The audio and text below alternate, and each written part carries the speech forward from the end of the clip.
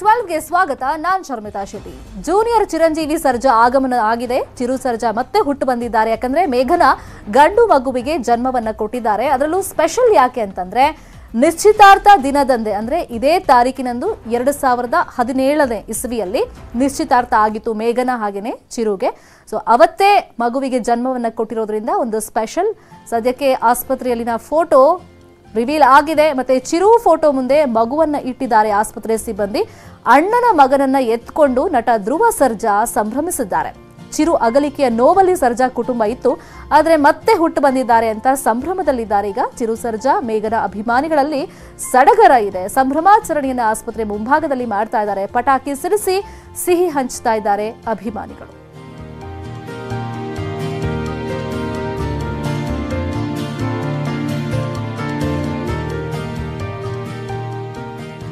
ಅಕ್ಷ ಆಸ್ಪತ್ರೆಯಲ್ಲಿ ಇವತ್ತು ಬೆಳಗ್ಗೆ ಹನ್ನೊಂದು ಗಂಟೆ ಏಳು ನಿಮಿಷಕ್ಕೆ ಸರಿಯಾಗಿ ಮೇಘನ ಗಂಡು ಮಗುವಿಗೆ ಜನ್ಮವನ್ನು ಕೊಟ್ಟಿದ್ದಾರೆ. ಮುದ್ದಾದ ಗಂಡು ಮಗು, ತಾಯಿ ಮತ್ತೆ ಮಗು ಇಬ್ರು ಆರೋಗ್ಯವಾಗಿದ್ದಾರೆ.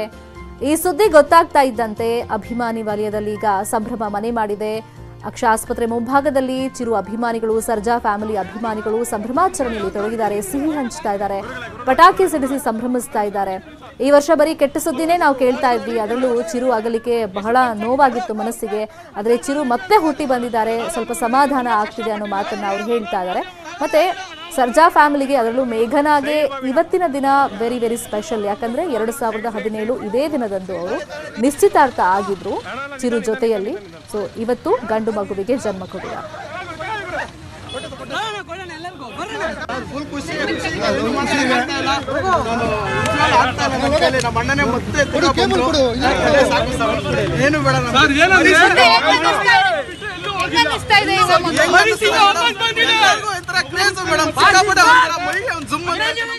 ಈ ಬಗ್ಗೆ ಮಾತಾಡೋದಕ್ಕೆ ನಟ ಅರ್ಜುನ್ ಸರ್ಜಾ ಅವರು ನಮ್ಮ ಜೊತೆ ಜಾಯ್ನ್ ಆಗಿದ್ದಾರೆ. ಕಂಗ್ರ್ಯಾಚುಲೇಷನ್ಸ್ ಅರ್ಜುನ್ ಸರ್ಜಾ ಅವರೇ. ಒಂದು ಸಮಾಧಾನ ಆಗಿರುತ್ತೆ ಖುಷಿ ಇರುತ್ತೆ. ಯಾವ ತರ ನೀವು ಎಕ್ಸ್ಪ್ಲೈನ್ ಮಾಡ್ತೀರಾ ಇದನ್ನ? ಅರ್ಜುನ್ ಸರ್ಜಾ ಅವರೇ ನನ್ನ ವಾಯ್ಸ್ ಕೇಳ್ತಾ ಇದೆಯಾ? ಅಮ್ಮ ನಾನು ಶಿವಾರ್ಜುನ್ ಮಾತಾಡ್ತೀನಿ. ಓಕೆ ಸರ್ ಹೇಳಿ. ಅದೇ ಖುಷಿಯಾಗಿದೆಯಮ್ಮ ನಮ್ಗೆ? ಖುಷಿಯಾಗಿದೆ. ಹಾ. ಚಿರು ಮತ್ತೆ ಹುಟ್ಟು ಬಂದ ಅಂತಾನೆ ಖುಷಿ. ಸೊ ಸಿನಿಮಾ ಎಲ್ಲ ರೀ ರಿಲೀಸ್ ಆಗಿತ್ತು. ಈ ಟೈಮ್ನಲ್ಲಿ ಒಂದು ಎಕ್ಸ್ಪೆಕ್ಟೇಷನ್ಸ್ ಇತ್ತು ಅಫ್ಕೋರ್ಸ್ ಯಾಕಂದ್ರೆ ಚಿರುನೆ ಮತ್ತೆ ಹುಟ್ಟಿ ಬರ್ತಾರೆ ಅಂತ. ನೀವು ಫ್ಯಾಮಿಲಿ ಮೆಂಬರ್ ಜೊತೆ ಮಾತಾಡಿದ್ರ? ಯಾರ ಹತ್ರನಾದ್ರೂ ಕಾಂಟ್ಯಾಕ್ಟ್ ಸಿಕ್ಕಿದ್ರಾ? ಜೊತೆಗೆ ಇದ್ದು ಅಮ್ಮ. ಈ ಇಷ್ಟೊತ್ತು ಜೊತೆಲಿ ಈಗ ಬಂದೆ. ಹಾ. ಸೊ ಎಲ್ಲರೂ ಖುಷಿಯಾಗಿದ್ದಾರೆ ಅಜ್ಜಿ. ಧ್ರುವ ಅವರಾಗ್ಲಿ ಧ್ರುವ ಅವ್ರ ವೈಫ್ ಆಗ್ಲಿ ಆಮೇಲೆ ಅರ್ಜುನ್ ಅವರ ತಂಗಿ ಆಗ್ಲಿ ಚಿರು ತಾಯಿ ಆಗ್ಲಿ ಎಲ್ಲ ಚೆನ್ನಾಗಿದ್ದಾರೆ. ಖುಷಿಯಲ್ಲಿದ್ದಾರೆ. ಸೊ ಮೇಘನ ಅವ್ರನ್ನ ನೋಡೋದಕ್ಕೆ ಮಾತಾಡ್ಸಕ್ಕೆ ಏನಾದ್ರು ಅವಕಾಶ ಸಿಗ್ತಾ ನಿಮ್ಗೆ ಅಲ್ಲಿ? ಇಲ್ಲಮ್ಮ ಇಲ್ಲಮ್ಮ ನಾನು ನಾನು ಹೋಗಿಲ್ಲ. ಓಕೆ ಓಕೆ ಒಳಗಡೆ ಹೋಗಿಲ್ಲ. ಅಂದ್ರೆ ಅವ್ರ ಫ್ಯಾಮಿಲಿ ಮೆಂಬರ್ಸ್ ಅಲ್ಲಿ ಸ್ವಲ್ಪ ಸಮಾಧಾನ ಅಫ್ಕೋರ್ಸ್ ಆಗಿರುತ್ತೆ ಚಿರಂಜೀವಿನೇ ಮತ್ತೆ ಬಂದಿದ್ದಾರೆ ಅಂತ. ಸೊ ನೀವು ಫ್ರೆಂಡ್ಸ್ ಎಲ್ಲ ಆಗಿ ಆಸ್ ಎ ಫ್ರೆಂಡ್ ಆಗಿ ಸೊ ಯಾವ ತರ ನೀವು ಈ ವಿಚಾರವನ್ನ ಸಂತಸವನ್ನ ವ್ಯಕ್ತಪಡಿಸ್ತೀರಾ? ಯಾವ ತರ ವೆಲ್ಕಮ್ ಮಾಡ್ತೀರಾ ಮಗುನ? ಅದೇ ಮತ್ತೆ ಚಿರು ವಾಪಸ್ ಬಂದಿದ್ದಷ್ಟೇ ಖುಷಿ ಇದೆ ನಮಗೆ. ಸೊ ಕಳ್ಕೊಂಡೆ ಅಂತ ಅಂದ್ಬಿಟ್ಟು ಒಂದ್ ದುಃಖ ಕಳ್ಕೊಂಡಿದ್ದ ದುಃಖ ಒಂದ್ ಕಡೆ ಇದ್ರೆ ಆ, ಒಂದ್ ಸಂಭ್ರಮ ಮನೆ ಮತ್ತೆ ಅಭಿಮಾನಿಗಳ ವಾತಾವರಣ ಇದೆ. ಸಂಬಂಧಿಕರಲ್ಲಿ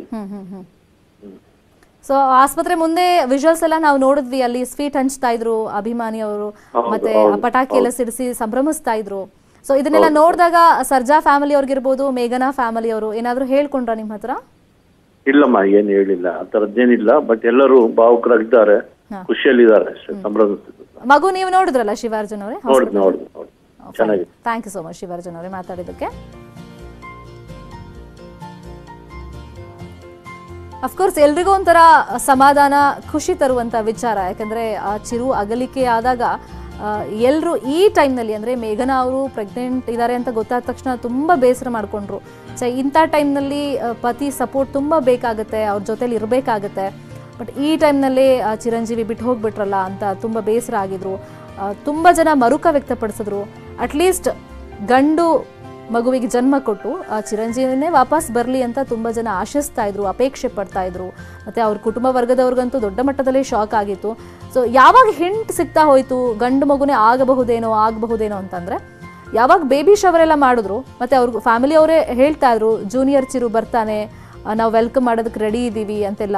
ಸೊ ಆ ಟೈಮ್ನಲ್ಲೇ ಒಂದು ಸಣ್ಣದಾಗಿ ಒಂದು ನಿರೀಕ್ಷೆ ಇತ್ತು. ಹಾ, ಮೇಘನ ಗಂಡು ಮಗುವಿಗೆ ಜನ್ಮ ಕೊಡಬಹುದೇನೋ ಅಂತ. ಸೊ ಸಾಕಷ್ಟು ಜನರ ಆಸೆ, ಮತ್ತೆ ಅಪೇಕ್ಷೆ ಏನಿತ್ತು, ಪ್ರಾರ್ಥನೆ ಏನಿತ್ತು, ಅದು ಫಲಿಸಿದೆ. ಮತ್ತೆ ಹುಟ್ಟಿ ಬಂದಿದ್ದಾರೆ ಚಿರಂಜೀವಿ ಸರ್ಜಾ. ಮೇಘನ, ಇವತ್ತು ಅಕ್ಷ ಆಸ್ಪತ್ರೆಯಲ್ಲಿ, ಬೆಂಗಳೂರಲ್ಲಿ. ಬೆಳಗ್ಗೆ ಹನ್ನೊಂದು ಗಂಟೆ ಏಳು ನಿಮಿಷಕ್ಕೆ ಗಂಡು ಮಗುವಿಗೆ, ಮುದ್ದಾದ ಗಂಡು ಮಗುವಿಗೆ ಜನ್ಮವನ್ನು ಕೊಟ್ಟಿದ್ದಾರೆ. ಅಫ್ಕೋರ್ಸ್ ಅವರ ಕುಟುಂಬ ಸದಸ್ಯರಲ್ಲಿ ಈಗ ಸಂತಸ ಮನೆ ಮಾಡಿದೆ. ಅವರ ಅಭಿಮಾನಿ ವಲಯದಲ್ಲೂ ಕೂಡ ಇದೀಗ ಸಂತಸ ಮನೆ ಮಾಡಿದೆ. ಅಲ್ಲಿ ಸಂಭ್ರಮಾಚರಣೆ ಕೂಡ ಜೋರಾಗಿದೆ. ಯಾಕಂದ್ರೆ ಮೇಘನ ಅವ್ರ ತಂದೆ ಸುಂದರರಾಜ್ ಅವರು, ಧ್ರುವ ಅವ್ರಿಗೆ ಸಿಹಿ ತಿನ್ನಿಸುವಂಥ ಫೋಟೋಸನ್ನು ಗಮನಿಸಿದ್ವಿ. ಮತ್ತೆ ಆಸ್ಪತ್ರೆ ಸಿಬ್ಬಂದಿ ಆ ಮಗು ಕೊಡ್ತಿರುವಂಥ ಫೋಟೋಸ್ ನೋಡ್ತಾ ಇದ್ದೀವಿ. ಆ ಮಗುವನ್ನ ಎತ್ತಿ ಮುದ್ದಾಡಿದ್ದಾರೆ ಧ್ರುವ ಸರ್ಜಾ.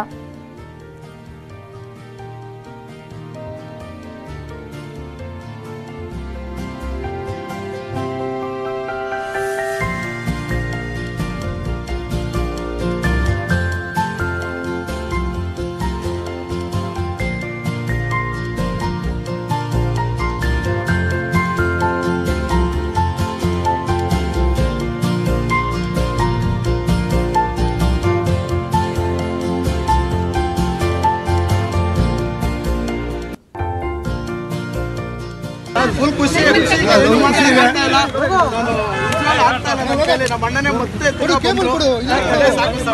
ಏನು ಬೇಡ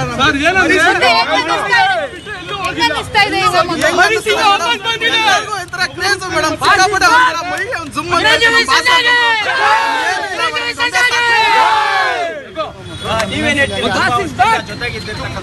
ನಮ್ಮ ಎಲ್ಲೂ ಹೋಗಿಲ್ಲ ನಮ್ ಜೊತೆ ಎಕ್ಸಾಂಪಲ್ ಚಿರೋಣ ಮತ್ತೆ ತಿರ್ಗಾ ಹುಟ್ಟು ಬಂದಿರೋದು. ಅದೆಲ್ಲ ನಮಗೆ ಖುಷಿ. ಬಟ್ ಇವತ್ತು ನಮಗೆ ಇಡೀ ನಮ್ಮ ಕರ್ನಾಟಕಕ್ಕಾಗ್ಲಿ ಎಲ್ಲರಿಗೂ ಖುಷಿ ವಿಷಯ. ಶಿವಣ್ಣ ಹುಟ್ಟಿರೋದೇ ನಮಗೆ ತುಂಬಾ ಖುಷಿ. ತುಂಬಾ ಖುಷಿ ಆಗ್ತೈತೆ ಮೇಡಮ್. ತುಂಬಾ ಖುಷಿ ಆಗ್ತೈತೆ. ತುಂಬಾನೇ ಖುಷಿ ಆಗ್ತೈತೆ. ಬಾಸ್ ಮತ್ತೆ ಬಂದಿದ್ದಾರೆ. Boss is back. ಇದೇ. ವಿಚಾರವಾಗಿ ಮತ್ತಷ್ಟು ಮಾಹಿತಿಯನ್ನು ಕೊಡ್ತಾರೆ ಅಕ್ಷ ಆಸ್ಪತ್ರೆ ಮುಂಭಾಗದಿಂದ ನೇರ ಸಂಪರ್ಕದಲ್ಲಿ ಜಾಯಿನ್ ಆಗಿದ್ದಾರೆ. ನಮ್ಮ film bureau reporter Harshavardhan. Harshavardhan, ಸಂಭ್ರಮಾಚರಣೆ ಗಮನಿಸ್ತಾ ಇದ್ದೀವಿ. ಚಿರು ಫ್ಯಾಮಿಲಿಯಲ್ಲಿ ಇರ್ಬೋದು, ಮೇಘನಾ ಫ್ಯಾಮಿಲಿಯಲ್ಲಿ ಈಗ ಸಂತಸ ಮನೆ ಮಾಡಿದೆ. ಸುಮಾರು ದಿನಗಳ ಆದಮೇಲೆ ಜೂನಿಯರ್ ಚಿರು ಆಗಮನದಿಂದಾಗಿ ಸದ್ಯಕ್ಕೆ ಅಲ್ಲಿ ಸಂಭ್ರಮಾಚರಣೆ ಇರ್ಬೋದು. ಜೊತೆಗೆ ಯಾರ್ಯಾರು ಬಂದಿದ್ದಾರೆ, ಯಾವ ತರ ತಮ್ಮ ಸಂಭ್ರಮವನ್ನ ವ್ಯಕ್ತಪಡಿಸ್ತಾ ಇದ್ದಾರೆ ಹರ್ಷವರ್ಧನ್?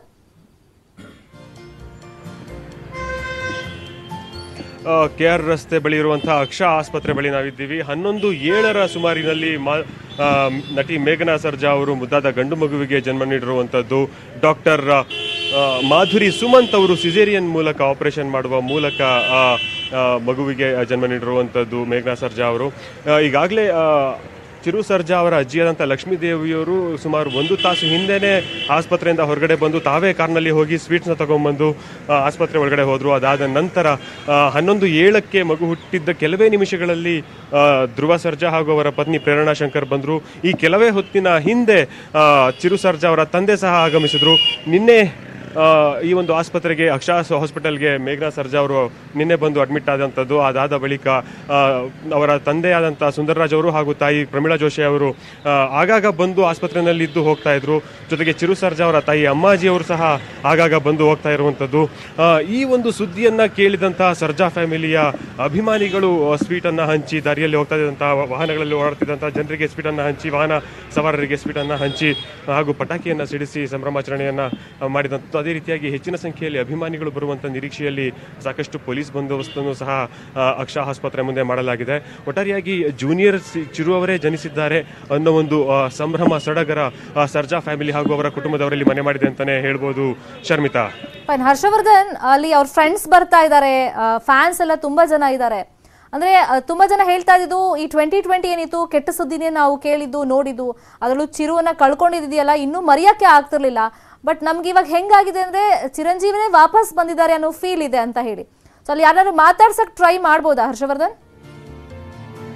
ಖಂಡಿತವಾಗ್ಲೂ ಅದೇ ರೀತಿಯಂತ ಒಂದು ಸಂಭ್ರಮ ಅಭಿಮಾನಿಗಳಲ್ಲಿದೆ ಅಂತಲೇ ಹೇಳ್ಬೋದು. ನಾವಿಲ್ಲಿ ಕೆಲವು ಅಭಿಮಾನಿಗಳ ಜೊತೆನಲ್ಲಿ ಮಾತಾಡೋದಕ್ಕೆ ಪ್ರಯತ್ನ ಪಡೋಣ ಚಿರು ಸರ್ಜಾ ಹಾಗೂ ಧ್ರುವ ಸರ್ಜಾ ಜೊತೆನಲ್ಲಿ ಹಲವಾರು ತಿಂಗಳುಗಳಿಂದ ಇರುವಂತಹ ರಘು ಹತ್ರ ಮಾತಾಡೋಣ. ಎಸ್ ರಘು ಹೇಳಿ ಚಿರು ಸರ್ಜಾ ಹಾಗೂ ಧ್ರುವ ಸರ್ಜಾ ಅವರ ತಮ್ಮನ ಥರ ನೀವು ಅವ್ರ ಫ್ಯಾಮಿಲಿ ಜೊತೆನಲ್ಲಿದ್ರಿ ಸೊ ಈಗ ಜೂನಿಯರ್ ಚಿರೋ ಆಗಮನ ಅಭಿಮಾನಿಗಳಲ್ಲಿ ಎಷ್ಟು ಮಟ್ಟಿಗೆ ಒಂದು ಸಂಭ್ರಮ ಮಾಡಿದೆ ಅಭಿಮಾನಿ ಅಂತಲ್ಲ ಸರ್ ಎಲ್ರಿಗೂ ಇಡೀ ಕರ್ನಾಟಕನೇ ಖುಷಿ ಪಟ್ಟಿದೆ ಸರ್ ಅಭಿಮಾನಿಗಳು ಅದಕ್ಕಿಂತ ಜಾಸ್ತಿ ಖುಷಿ ಪಟ್ಟಿದ್ದಾರೆ ಅಷ್ಟೇ. ಇಡೀ ಕರ್ನಾಟಕನೇ ಚಿರೋಣನ ಆಗಮನದಲ್ಲಿದ್ದರು ನಿರೀಕ್ಷೆಯಲ್ಲಿದ್ದರು ಬಟ್ ಇವತ್ತು ಚಿರೋಣ ಹುಟ್ಟಿರೋದು ಎಲ್ರಿಗೂ ಖುಷಿಯಾಗಿದೆ. ಎರಡು ಸಾವಿರದ ಇಪ್ಪತ್ತರಲ್ಲಿ ಎಲ್ಲ ಕರಾಳ ವರ್ಷನೇ ಎಲ್ರಿಗೂ. ಬಟ್ ಇವಾಗ ಚಿರೋಣ ಹುಟ್ಟಿರೋದೇ ಎಲ್ರಿಗೂ ಒಂದು ಸಿಹಿ ಸುದ್ದಿ ಸರ್ ಇವತ್ತು ನೀವು ಮಗುನ ನೋಡಿದ್ರ? ಧ್ರುವ ಸರ್ಜಾ ಅವರು ಹೋಗಿ ಮಗುನ ನೋಡಿದ್ರು. ನೀವು ಜೊತೆನಲ್ಲಿದ್ರ ಹೇಗಿತ್ತು? ಇಲ್ಲ ಸರ್ ನಾವು ಕೆಳಗಡೆ ಇದ್ವಿ. ಈಗ ನಾನು ಮುತ್ತಣ್ಣ ಮೇಲೆ ಮೇಲೆ ಹೋಗ್ಬಿಟ್ಟು ಬಂದ್ವಿ ಮಾತಾಡೋಣ. ಮುತ್ತುವರ ಹೇಳಿ ಸುಮಾರು ವರ್ಷಗಳಿಂದ ಸರ್ಜಾ ಫ್ಯಾಮಿಲಿ ಜೊತೆನಲ್ಲಿ ನೀವು ಒಡನಾಟ ಇರುವಂಥವ್ರ ಜೊತೆನಲ್ಲೇ ಇರುವಂಥದ್ದು ಸೊ ಈ ಒಂದು ಕ್ಷಣ ಎಷ್ಟು ಮಟ್ಟಿಗೆ ಆ ಸಂತಸ ಮೂಡಿಸಿದೆ? ಸರ್ ಜಸ್ಟ್ ಇವಾಗ ತಾನು ಮೇಲೆ ಹೋಗ್ಬಿಟ್ಟು ಮಗು ನೋಡ್ಕೊ ಬಂದೆ. ಸಿಕ್ಕಾಪಟ್ಟೆ ಖುಷಿ ಆಗ್ತಾ ಇದೆ. ನಮ್ಮ ಅಣ್ಣನೇ ವಾಪಸ್ ಬಂದರೆ ತಿರ್ಗಾ ಬಂದರು ಅಂತ ನಮ್ಗೊಂದು ಅದೇ ಒಂದು ಖುಷಿ ಸರ್. ಎಲ್ಲೋ ಕಡೆ ಜೂನಿಯರ್ ಚಿರುನೇ ಹುಟ್ಟು ಬರ್ತಾರೆ ಮಗು ನೋಡೋದಕ್ಕೆ ಇಷ್ಟು ಬೇಗ ಗೊತ್ತಾಗೋದಿಲ್ಲ ಯಾರ ತರ ಇದೆ ಅಂತ ಅಂದ್ಬಿಟ್ಟು ಆದ್ರೂ ನಿಮ್ಗೆ ಯಾವ ತರ ಅನ್ನಿಸ್ತು ಸರ್, ನಮ್ಮ ಅಣ್ಣನೇ ಬಂದರು ಅಂತ ಹೇಳಿದ್ನಲ್ಲ ಸರ್, ನಮ್ಮ ಅಣ್ಣನೇ ಅವರು, ಬೇರೆ ಯಾರೂ ಅಲ್ಲ, ನಮ್ಮ ಅಣ್ಣನೇ ಸರ್ ಅವರು. ನಮ್ಮ ಅಣ್ಣನ ಮಗ ಹಂಗೆ ಐತೆ ಸರ್, ನಮ್ಮ ಅಣ್ಣನ ನಮ್ಮ ಅಣ್ಣನೇ ಅವರು. ಶರ್ಮಿತಾ ಕೇಳಿದ್ರಲ್ಲ ಆ, ಸರ್ಜಾ ಫ್ಯಾಮಿಲಿ ಅವರ ಅಭಿಮಾನಿಗಳು ಅವರ ಜೊತೆ ಅವರ ಕುಟುಂಬ ಜೊತೆ ಒಡನಾಟ ಇಟ್ಕೊಂಡಿರುವಂತ ಮಂದಿ ಏನಂತ ಹೇಳ್ತಿದ್ದಾರೆ ಅಂತ ಅಂದ್ಬಿಟ್ಟು ಒಟ್ಟಾರೆಯಾಗಿ ಜೂನಿಯರ್ ಚಿರು ಅವರೇ ಮತ್ತೆ ಹುಟ್ಟಿ ಬಂದಿದ್ದಾರೆ ಅನ್ನೋ ಒಂದು ಸಂಭ್ರಮ ಪ್ಲೀಸ್ ಬಿ ಆನ್ಲೈನ್ ಈ ಬಗ್ಗೆ ಮಾತಾಡೋದಕ್ಕೆ ಮೇಘನಾ ತಾಯಿ ಪ್ರಮಿಳಾ ಜೋಶಿ ಅವರು ನಮ್ಮ ಜೊತೆ ಫೋನ್ ಲೈನ್ ಅಲ್ಲಿ ಜಾಯ್ನ್ ಆಗಿದ್ದಾರೆ. ಪ್ರಮಿಳಾ ಜೋಶಿ ಅವರೇ ಕಂಗ್ರ್ಯಾಚುಲೇಷನ್ಸ್ ಥ್ಯಾಂಕ್ ಯು ಮಾ ಥ್ಯಾಂಕ್ ಯು ಮಾ ಎಷ್ಟು ಖುಷಿ ಆಗ್ತಾ ಇದೆ. ನಿರೀಕ್ಷೆ ಅಫ್ಕೋರ್ಸ್ ಇತ್ತು. ಒಂದು ಹಿಂಟನ್ನ ನಿಮ್ಮ ಫ್ಯಾಮಿಲಿ ಅವ್ರು ಬಿಟ್ಕೊಟ್ಟಿದ್ರಿ ಮೊನ್ನೆ ಧ್ರುವ ಪೋಸ್ಟ್ ಎಲ್ಲ ಮಾಡಿದಾಗ. ಸೊ ಜೂನಿಯರ್ ಚಿರುನೇ ಬರ್ತಾರೆ ಅಂತ. ಏನು? ಮೊನ್ನೆ ಒಂದು ಹಿಂಟ್ ಅನ್ನ ರಿವೀಲ್ ಮಾಡಿದ್ರು ಧ್ರುವ ಅವರೇ ಒಂದು ವಿಡಿಯೋ ಹಾಕೋ ಮುಖಾಂತರ. ಜೂನಿಯರ್ ಚಿರುನೇ ಬರ್ತಾರೆ ಹಾರ್ಟ್ಲಿ ವೆಲ್ಕಮ್ ಮಾಡೋಣ ಅವ್ರನ್ನ ಅಂತ. ಸೊ ಎಷ್ಟು ಖುಷಿ ಆಯ್ತು ನಿಮ್ಗೆ? ನನಗೆ ತುಂಬಾ ಖುಷಿ ಆಯ್ತು ತುಂಬಾ ಖುಷಿ ಆಯ್ತು. ಆ ವರ್ಣನೆ ಮಾಡಕ್ ಆಗೋದಿಲ್ಲ ಅಷ್ಟೊಂದು ಖುಷಿಯಾಗಿದೆ. ನಾವು ಇಡೀ ನಮ್ ಕುಟುಂಬ ಸಂತೋಷದಲ್ಲಿ ಇದ್ದೀವಿ ನಿಜ ಹೇಳ್ಬೇಕಂದ್ರೆ ಅಷ್ಟು ಒಂದು ಸಂಭ್ರಮಿಸ್ತಾ ಇದೀವಿ ಎಲ್ಲರೂ. ಕುಟುಂಬದವರೆಲ್ಲ ಸೇರಿ. ಹೌದು. ಅಂದ್ರೆ ನೀವೊಬ್ರು ತಾಯಿ ನಿಮ್ ಮಗಳು ಒಂದು ಮಗುಗ್ ಜನ್ಮ ಕೊಟ್ಟಿದ್ದಾರೆ. ಸೊ ಆ ಕ್ಷಣನ ಎಕ್ಸ್ಪ್ಲೈನ್ ಮಾಡ್ಬೋದಾ? ಎಷ್ಟು ಖುಷಿ ಆಗಿದೆ ನಿಮ್ಗೆ ಮಗು ನೋಡಿದೀರಾ ನೀವು? ಏನ್ ಅನಿಸ್ತು? ತಾಯಿಯಾಗಿ ನಾನು. ಎಲ್ಲಾ ವಿಷಯಗಳನ್ನು ನಾನು ನನ್ನ ಮಗಳ ಒಂದು ಜೀವನದಲ್ಲಿ ನಾನು ನೋಡಿದ್ದೀನಲ್ವಾ? ಹೌದು. ಹಾಗಾಗಿ ಅದರಲ್ಲಿ ದುಃಖ ಇರ್ಬೋದು ಸಂತೋಷ ಇರ್ಬೋದು ಎಲ್ಲ ಮಿಶ್ರಿತ ಆಗಿದೆ ಲೈಫಲ್ಲಿ ನನಗೆ. ಹಾಗಾಗಿ ಈಗ ಮಗನ್ ನೋಡಿದಾಗ ಆಗೋ ಆನಂದ ವರ್ಣನೆ ಮಾಡೋಕ್ಕಾಗುದಿಲ್ಲ. ಅಂತ ಒಂದು ಆನಂದ ಆಗಿದೆ. ನನಗೆ ತುಂಬಾ ಸಂತೋಷ ಪಟ್ಟಿದ್ದೀನಿ ತುಂಬಾ ಸಂತೋಷವಾಗಿದೆ ನನಗೆ. ಮೊಮ್ಮಗ ಬಂದಿದ್ದಾನೆ. ಆ, ಮೇಘನ ಅವರ ಹೆಲ್ತ್ ಕಂಡೀಷನ್ ಬಗ್ಗೆ ಆರಾಮಾಗಿದ್ದಾರೆ ಅಂತ ಗೊತ್ತಾಯ್ತು. ಮಾತಾಡಿದ್ರ ನೀವು ಅವ್ರ ಹತ್ರ? ಹೌದು ಖಂಡಿತ ಮಾತಾಡ್ದೆ ನಾನು. ಎಷ್ಟು ಖುಷಿ ಮಾತಾಡ್ದೆ ತುಂಬಾ ತುಂಬಾ ಖುಷಿ. ಆ ಖುಷಿ ಹೇಗೆ ಅಂತಂದ್ರೆ ವರ್ಣನೆ ಹೇಳುದಲ್ಲ ನಮ್ಗೇನಾಗಿದೆ ಈ ಸಂಭ್ರಮನ ಹೇಳ್ಕೊಳಕ್ಕೂ ಆಗೋದಿಲ್ಲ ತಡ್ಕೊಳಕ್ಕೂ ಆಗಲ್ಲ. ನಾವೊಂದು ಒಂದು ಮಿಶ್ರಿತವಾದ ಸಂಭ್ರಮ ಆಗಿದೆ ಅಂತ ಹೇಳ್ಬೋದು. ಅವು ಮೇಘನ ಎಷ್ಟು ಆನಂದವಾಗಿದ್ದಾಳೆ ಅಂದ್ರೆ ತುಂಬಾ ಸಂತೋಷ ಪಟ್ಲು. ಮಗುನ್ ನೋಡಿ ಅವಳಿಗೆ ಮುದ್ದು ಕೊಟ್ಲು. ಆ ಭಾರಿ ಸಂತೋಷ ಪಟ್ಟಿದ್ದಾಳೆ ಒಂದೇ ಸೆಕೆಂಡ್ ಮೇಡಮ್ ಧ್ರುವ ಸರ್ಜಾ ಮಾತಾಡ್ತಾ ಇದ್ದಾರೆ. ಎಲ್ರಿಗೂ ನಮಸ್ಕಾರ. ಇರೇ ಏನು ಇಂಟರ್ವ್ಯೂ ನಾ ಎಲ್ಲ ಹೇಳ್ತೀನಿ. ಎಲ್ರಿಗೂ ನಮಸ್ಕಾರ. ಆ, ಗಂಡು ಮಗು ಆಗಿದೆ. ಅತ್ತಿಗೆನೂ ಸೇಫ್ ಆಗಿದ್ದಾರೆ. ಆ್ಯಂಡ್ ಅಣ್ಣನಿಗೆ ಅತ್ತಿಗೆ ಗಂಡು ಮಗು ಆಗಿದೆ. ಖುಷಿ ವಿಚಾರ. ಎಲ್ಲ ಆರೋಗ್ಯವಾಗಿದ್ದಾರೆ. ಎಲ್ಲರೂ ನೋಡ್ತಾ ಇರೋರು ಎಲ್ರಿಗೂ ಒಂದೇ ಕೇಳೋದು ಆಶೀರ್ವಾದ ಮಾಡಿ ಅಂತ ಕೇಳೋದು ಥ್ಯಾಂಕ್ ಯು ಸೊ ಮಚ್ ಅದು ಏನು ಆ ಥರ ಫೀಲ್ ಏನು ಅಂದರೆ ಗೊತ್ತಾಗಲಿಲ್ಲ ಸಡನ್ನಾಗೆ ಅಂದರೆ ಖುಷಿಗೆ, ಜಾಸ್ತಿ ಖುಷಿಗೆ ಯಾವ ಥರ ಅನ್ನಿಸ್ತು ಅಂತಾರಲ್ಲ ಕಾನ್ಸಂಟ್ರೇಟ್ ಮಾಡೋಕ್ಕಾಗಲಿಲ್ಲ ತುಂಬಾ ಖುಷಿ ಆಯಿತು. ಸಮಸ್ತ ಕರ್ನಾಟಕ ಜನತೆಗೆ ಏನು ಕೇಳೋದು ಅಂದರೆ ಆ ಮಗುಗೆ ಮತ್ತು ತಾಯಿಗೆ ಆಶೀರ್ವಾದ ಮಾಡಿ ಅಂತ ಕೇಳಿ ಒಂದು ಅಣ್ಣನ ಆಸೆ ಅಂತೆ. ಅಂದರೆ ಬೆಳ್ಳಿ ತೊಟ್ಲು ಗಿಫ್ಟ್ ಮಾಡಿರ್ತಕ್ಕಂಥದ್ದು. ಬೆಲೆ ಬಾಳ್ತಕ್ಕಂಥ ಬೆಳ್ಳಿ ತೊಟ್ಟು. ಯಾವ ಥರದ ಅತ್ತಿಗೆ ಒಂದಿಷ್ಟು ಅದು. ಗೊತ್ತಾಗಬಾರ್ದು ಅಂತ ಇತ್ತು. ನಿಮ್ಗಳಿಗೆ ಹೆಂಗೆ ಪಸಾರ ಆಗುತ್ತೋ ಗೊತ್ತಿಲ್ಲ. ವಿತ್ ಫೋಟೋಸ್ ಎಲ್ಲ ನೀವು ಹಿಡ್ದಾಕ್ತೀರಾ? ಅದಕ್ಕೇನು ಹೇಳೋದಿಲ್ಲ ಬಸ್ ಈಗ ಮಗು ಜೊತೆ ಟೈಮ್ ಸ್ಪೆಂಡ್ ಮಾಡೋದಲ್ಲ ಅಣ್ಣನೇ ಅಣ್ಣನ ಜೊತೆನಲ್ಲೇ ಟೈಮ್ ಸ್ಪೆಂಡ್ ಮಾಡಿರ್ತಾರೆ ಆ ಥರ ಫೀಲ್ ಏನಾದರೂ ಆಯ್ತಾ?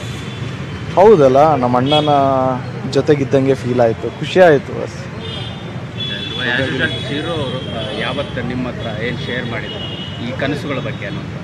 ಹ್ಞೂ ಹೇಳಿದ್ದ, ನಾನು ರೇಗಿಸ್ತಾ ಇದ್ದೆ. ಅಲ್ಲೂ ಎಲ್ಲ ಓಕೆ, ಮಕ್ಕಳಾದ್ಮೇಲೆ ಓಕೆ ನಿನ್ನ ಪೇರೆಂಟ್ಸ್ ಟೀಚರ್ಸ್ ಮೀಟಿಂಗ್ ಕರೀತಾರಲ್ಲ ನಿನ್ನ ಮೇಲೆ ಜಾಸ್ತಿ ಕಂಪ್ಲೇಂಟ್ಸ್ ಇತ್ತು ಸ್ಕೂಲಲ್ಲಿ ಇನ್ನು ನಿನ್ನ ಮಕ್ಕಳ ಮೇಲೆ ಬೈ, ಬೇಜಾನು ಇರುತ್ತೆ ಮಚ್ಚ ಅಂತ ಹೇಳಿದೆ ಮತ್ತು ನನಗೆ ಮಗನೇ ಆಗೋದು, ಅವನು ಕಂಪ್ಲೇಂಟ್ಸ್ ಜಾಸ್ತಿ ಇದ್ದೇ ಇರುತ್ತೆ ಸ್ಕೂಲಲ್ಲಿ ಅಂತ ಹೇಳಿದ್ದ. ಸೊ ಆ ಮೂಮೆಂಟ್ ನೆನಪಾಗ್ತದೆ ಈಗ ಸದ್ಯಕ್ಕೆ. ಶೇರ್ ಏನಿಲ್ಲ. Thank you all thank you so much Jaya Anjaneya.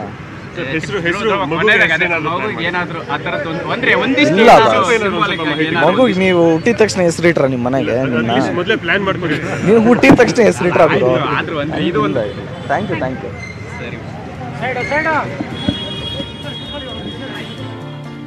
ಇದು ಧ್ರುವ ಸರ್ಜಾ ಅವ್ರ ಮಾತು. ಸೊ ಹಿಂದೆ ಏನೆಲ್ಲ ಆಗಿತ್ತು, ಅಣ್ಣನ ಜೊತೆ ಮಾತಾಡುವಾಗ ಆ ಒಂದಿಷ್ಟು ಮೆಮೊರೀಸನ್ನು ಧ್ರುವ ಶೇರ್ ಮಾಡ್ತಾ ಇದ್ರು. ಅಫ್ಕೋರ್ಸ್ ಆ ದುಃಖದಲ್ಲೂ ಕೂಡ ಒಂದು ಮಿಶ್ರಿತವಾದಂಥ ಒಂದು ಸಂತಸ ನಮ್ಗೆ ಆಗ್ತಾ ಇದೆ. ದುಃಖನೂ ಇದೆ. ಅದನ್ನು ಕಂಪ್ಲೀಟಾಗಿ ಮರ್ತಿಲ್ಲ ನಾವು ಬಟ್ ಜೂನಿಯರ್ ಚಿರು ಬಂದಿರೋದ್ರಿಂದ ನಮಗೆ ಖುಷಿ ಆಗಿದೆ, ಸಂತಸ ಆಗಿದೆ. ಅಣ್ಣನ ನೋಡಿದಷ್ಟೇ ಖುಷಿ ಆಯಿತು. ಆ ಮಗು ಎತ್ಕೊಂಡಾಗ ಅಣ್ಣನ ಜೊತೆ ಟೈಮ್ ಸ್ಪೆಂಡ್ ಮಾಡಿದಷ್ಟೇ ನನಗೆ ಸಂತೋಷ ಆಯಿತು. ಹಾಗೆ ಅನ್ನಿಸ್ತು ಅಂತ ಧ್ರುವ ಹೇಳ್ತಾ ಇದ್ರು.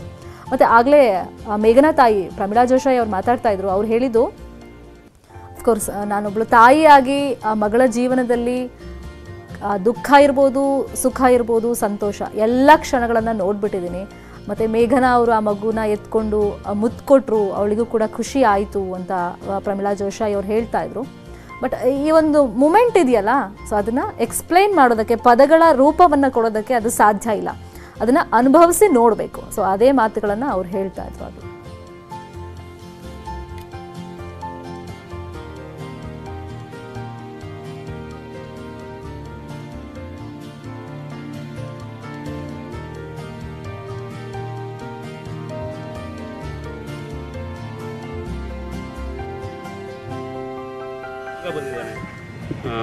ಅನ್ನೋನ್ನ ಹೇಳೋಕ್ಕಾಗಲ್ಲ, ಆದರೂ ಈ ಸಂದರ್ಭದಲ್ಲಿ ನಿಮ್ಮ ಮನದಾಳದ ಮಾತು.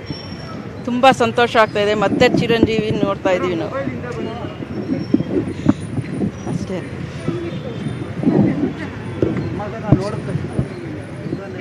ಹೌದೌದು. ತುಂಬ ಸಂತೋಷ ಆಯಿತು. ಕ ಇಷ್ಟು ದಿವಸ ನಾವು ನೋವು ತಿಂತಾ ಇದ್ದಿದ್ದು ಇವಾಗ ಸಂತೋಷ ಆಯಿತು.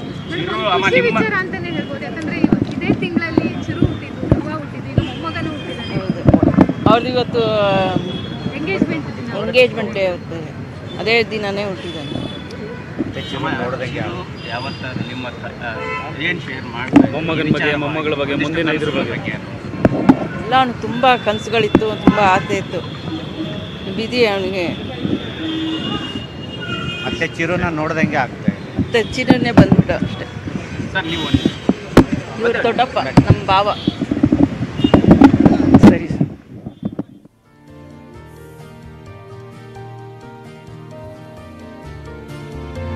ಹಬ್ಬ ಕಳ್ಕೊಂಡ್ಬಿಟ್ರೆ ನಾವು ಬಚಾವ. ಇದು ಕೊರೋನಾ ಗೋಯಿಂಗ್ ಸ್ಟೋರಿ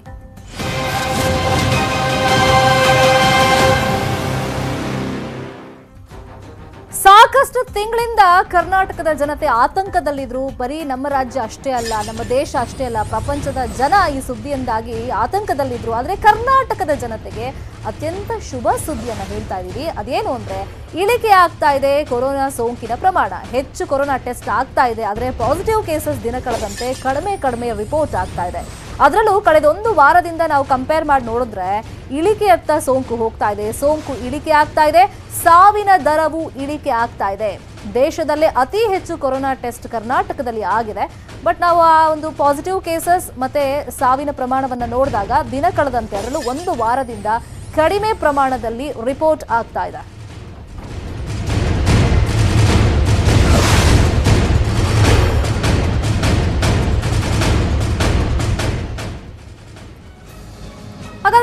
ಕರ್ನಾಟಕದಲ್ಲಿ ಕೊರೋನಾ ಲೆಕ್ಕಾಚಾರವನ್ನ ನಾವು ನೋಡೋದಾದ್ರೆ ಕರ್ನಾಟಕ ಹಾಗಾದ್ರೆ ಸೇಫ್ ಆಗಿದೆಯಾ? ಒಂದು ವಾರದಿಂದ ಏನೆಲ್ಲ ಆಗ್ತಾ ಇದೆ ಅಂತಂದ್ರೆ ಒಟ್ಟು ಪರೀಕ್ಷೆ ಆಗಿರೋದು ಅರವತ್ತೊಂಬತ್ತು ಪಾಯಿಂಟ್ ಐದು ಎರಡು ಲಕ್ಷ ಸ್ಯಾಂಪಲ್ಗಳನ್ನ ಪರೀಕ್ಷೆಗೆ ಒಳಪಡಿಸಿರೋದು.